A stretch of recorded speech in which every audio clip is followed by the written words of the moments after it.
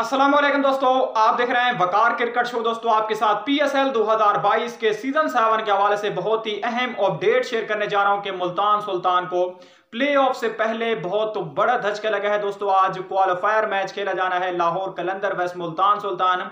लेकिन मुल्तान सुल्तान को बहुत ही बड़ा धचका लगा है कि टिम डेविड जो है वो कोरोना का शिकार हो गए, उनका कोविड का टेस्ट पॉजिटिव आ गया है जो मुल्तान सुल्तान को बहुत बड़ा धचका है। इसके अलावा भी और नाम भी हैं जिनके कोविड के टेस्ट पॉजिटिव आए हैं, जिनमें डैनी मॉर्सन कमेंटेटर हैं और अरूज मुमताज़ का भी कोविड का टेस्ट जो है वो पॉजिटिव आ गया। इसके अलावा एक और भी स्टाफ मेंबर है, उसका भी कोविड का टेस्ट जो है वो पॉजिटिव आया। इससे पहले जो बैन कटिंग है, पिशावर जलमी, उनका कोविड का टेस्ट पॉजिटिव आया था। उस्मान कादिर का पॉजिटिव आया था और हाशी मामला का पॉजिटिव आया था, लेकिन अब इनके भी कोविड के टेस्ट पॉजिटिव आए हैं तो मुल्तान सुल्तान को बड़ा धचका इसलिए भी है कि टिम डेविड के ऊपर मुल्तान सुल्तान की जो टीम है, वो बहुत ज़्यादा इहसार कर रही थी। मुल्तान सुल्तान की अगर टीम में देखें तो मोहम्मद रिजवान, शान मसूद, इसके अलावा टिम डेविड और रैली रूसो जो है वो बैटिंग में बहुत ही अहम रोल अदा कर रहे थे मुल्तान सुल्तान की टीम में और इमरान तैयार जो है बॉलिंग में।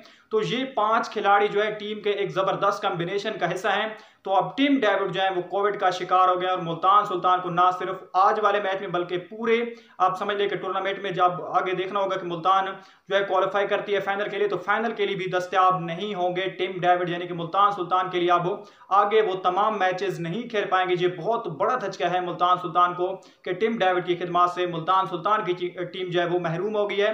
दोस्तों, अगर आपको अपडेट अच्छे लगे तो लाइक कर देना, चैनल को सब्सक्राइब नहीं किया तो सब्सक्राइब प्लीज़